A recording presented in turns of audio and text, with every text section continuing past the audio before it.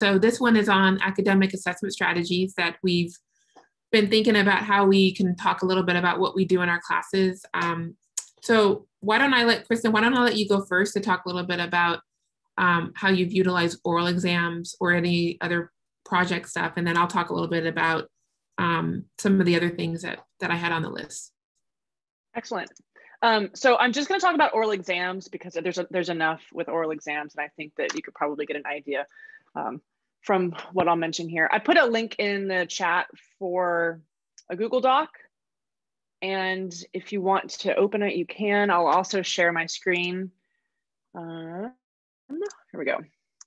This just has kind of like a list of, you know, the items that I check off during my workflow for oral exams. There's a lot that goes into it on um, the front end, but then there's really no grading involved. So you spend more time getting ready for it, but then you don't spend any time grading essentially. So here's the idea. Um, I plan to meet with each of my students in 20 or 30 minute blocks, depending on, you know, what all you want to cover in your exams. I have them sign up for exam slots using the appointment slots feature in Google Calendar, um, which is super, super useful as Khameeka already mentioned. There's a link there in case you're not familiar with it. It's actually quite easy to do. Um, and just to show you sort of what it looks like in my calendar, this is my calendar for the week before spring break. Um, I had a pretty hectic Thursday and Friday, but those are the exam slots. And you know, the students sign up for them and I can see which students signed up for which exam times. Um, and then the Zoom link is in there, it's in their calendar, they know where to go. Um, super easy to facilitate it that way. So they sign up for exam times. About a week before the exam, I, I give them the problems. Um, they're they're not easy. They're they're di they're different than a typical exam problem would be. A little bit more open ended. I ask them to explain things. Um, they know that it's not just going to be solving the equation and finding a value for x, for example.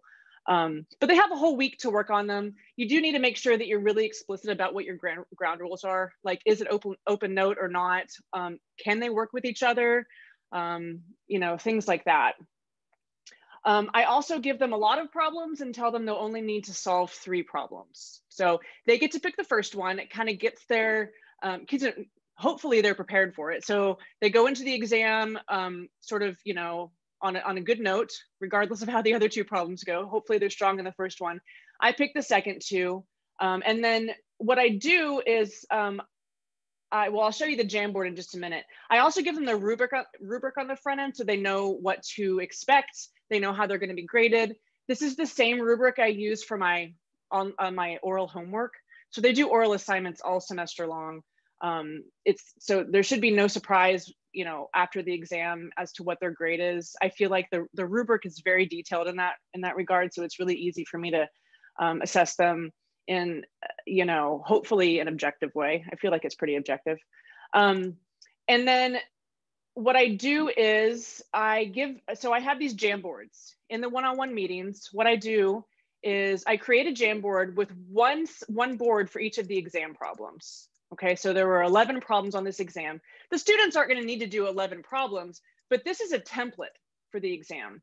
And so what I do is um, for each, each student that I meet with, I adjust the sharing settings. So only the student that I'm meeting with has access to this. They have edit access. So if I wanted Khameeka to have access, I would give her edit access.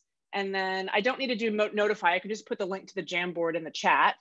Um, and then after the meeting, I also remove access so they can't go in later and like change what they did earlier.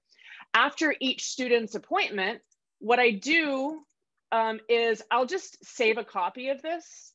I'll make a copy and I'll change the name of it to like whatever the student's name is. And that's why you see all these, these are from my last exam I just gave before the break.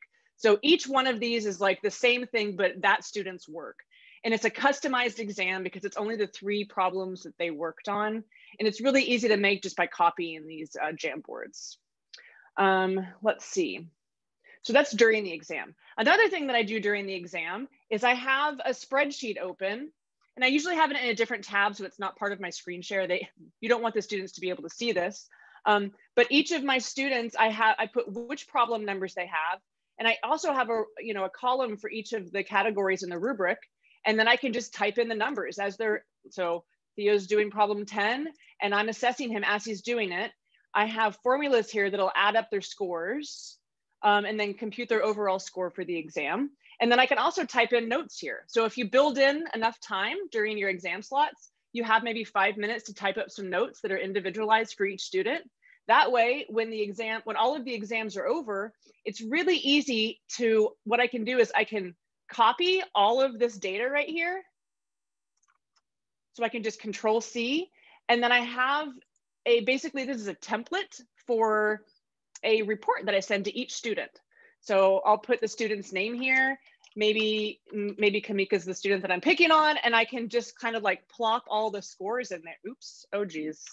I did not actually copy the data. Let me see. Let's copy that.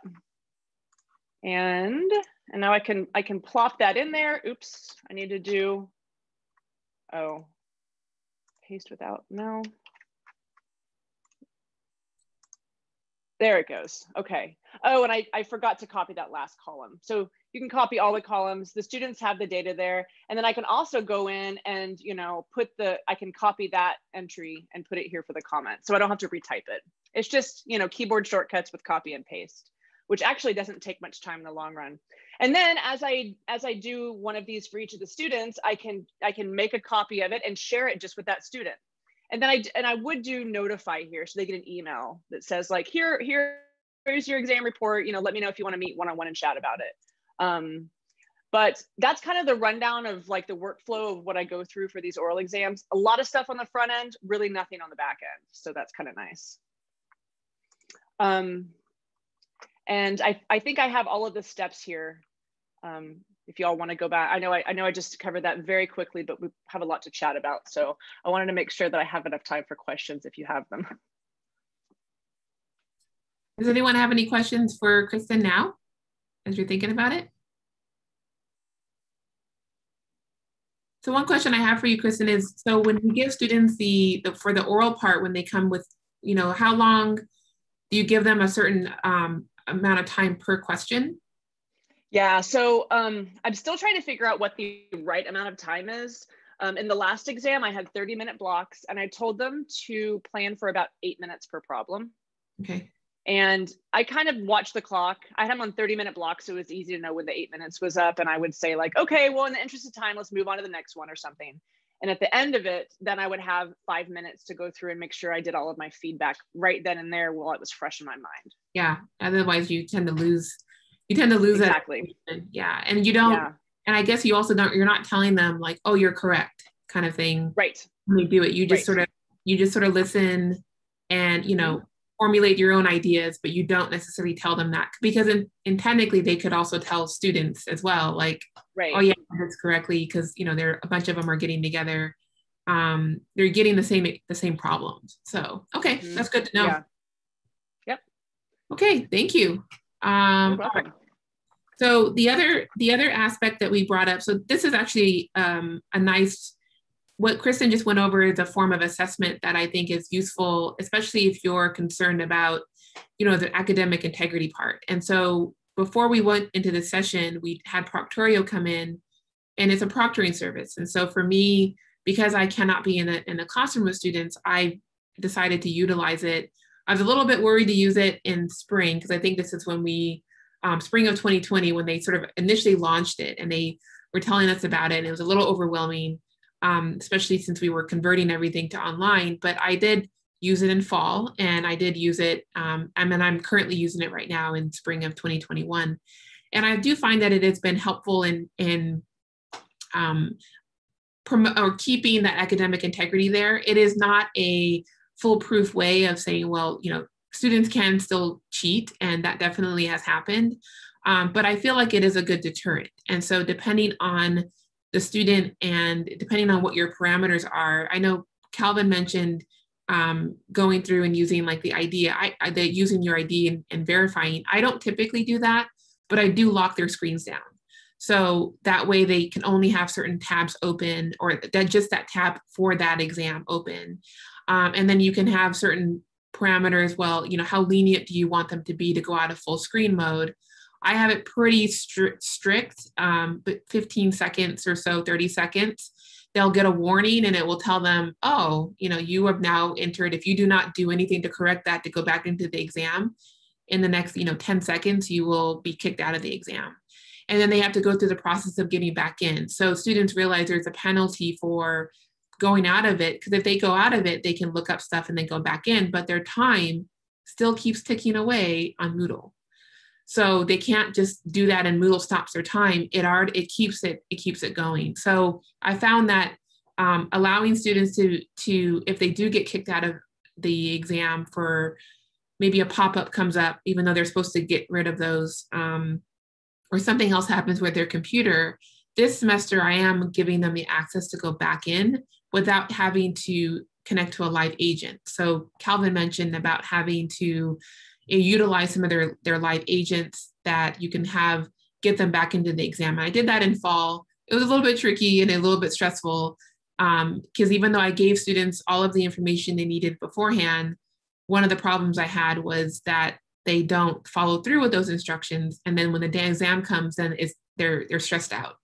Um, and that happens. And so I try to get them to realize that there's some things they have to make sure they do beforehand so that way they're not you know feeling like they're they're drowning and they're, they're stressing out because their exam is time is ticking away so this semester i'm not doing that and actually it's helped a lot as far as keeping things stream. the flow is good and they just know that they have you know 65 minutes 70 minutes to do the exam and that's what they have so that's been useful um, and so i feel like it's i've i've been a lot i've, I've done a lot more about setting up Proctorio, but also how I exam, I design my questions on Moodle, um, making them so that they're you're like kind of like multiple multiple choice. And so if students do find a way to cheat in some way or form, that usually there it's probably more than one option. And if they're not really looking very clearly, then it kind of will ding them for that.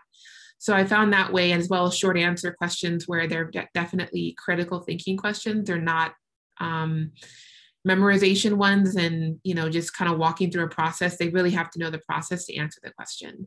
And i think keeping the time limit is really really helpful um, on these exams. So that's been my experience and at least in teaching you know stem based um, courses that using proctorio as a again as a form of assessment but again it's a it's a either a quiz or exam i've used it for both um, for both um, types of assessment um, for group projects, I do find that, uh, you know, I, my upper division classes, I have them work on independent sort of research project and I have them get, do get together on that. One of the things that I found that has been helpful is doing peer evaluations. So I have them, I have them evaluate them each other in the group. Um, the students don't see those evals, but I see them. And so it gives me a sense of how the group dynamic is working. Uh, I feel like most of the time I can kind of head things off and I know what's going on. But when you're online, it's a little harder because you can't see their dynamics in the classroom.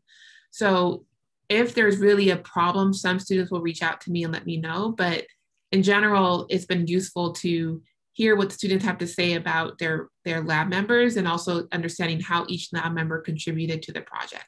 I really want to know that. Like, what did they do specifically based off of the guidelines I gave them. So peer evaluations are really helpful for group projects so that way you know um, how to assess their performance at the very end, whether it be through, I usually have them write a proposal, but they also may have to do a presentation and I have them evaluate each other on both. So that's how I sort of use uh, group projects, but more particularly um, evaluations for that, for as a form of assessment.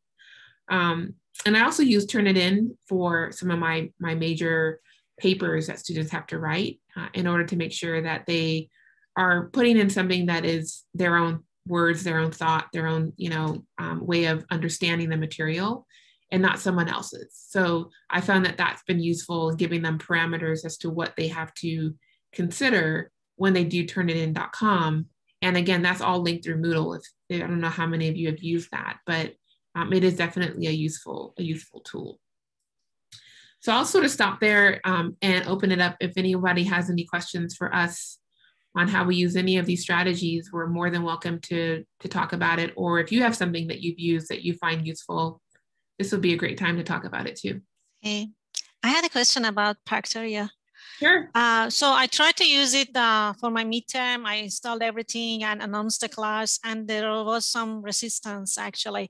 Uh, but uh, one question specifically I have about uh, when um, you're running it, uh, is it any, would it be any um, notification during the exam to the instructor about suspicious activity or something?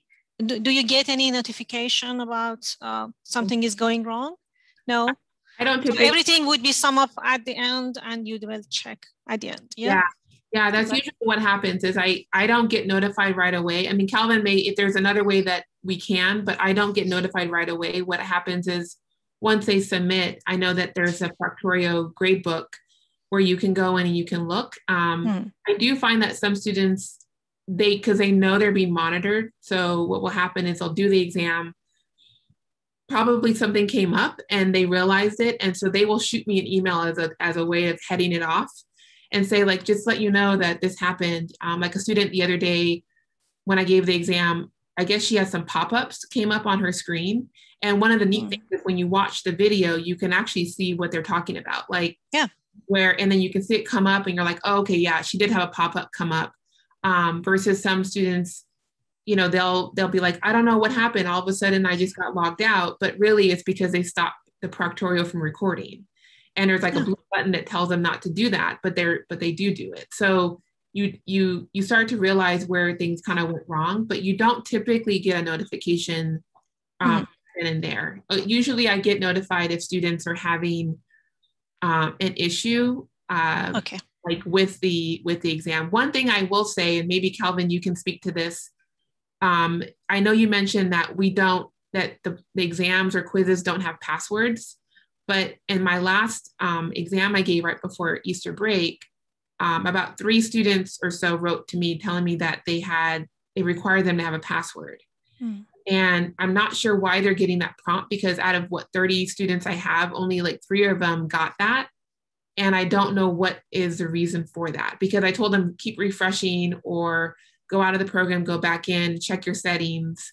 Um, but other, I'm not sure if there's anything else we can do to kind of prevent that from happening. I don't know if Calvin, if you have any suggestions. Sure, yeah. Uh, the password's typically either a connection error or the student's missing some. Okay.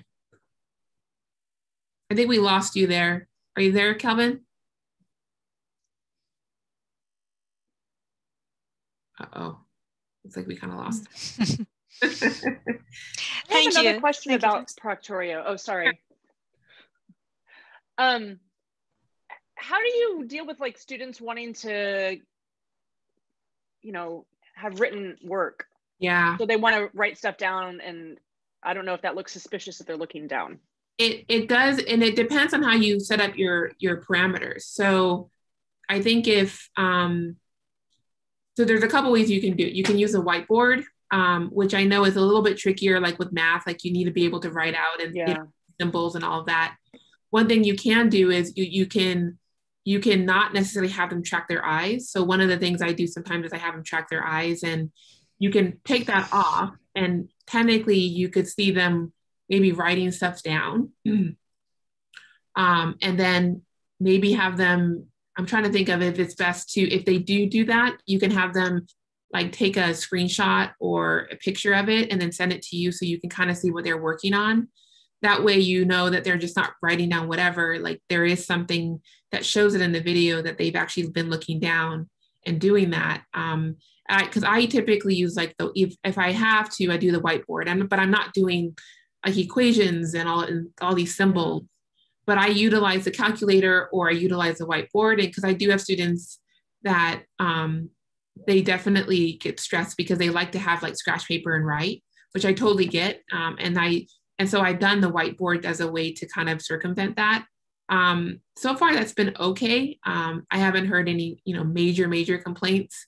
When you do the proctorio you actually can see what they're writing on the whiteboard too.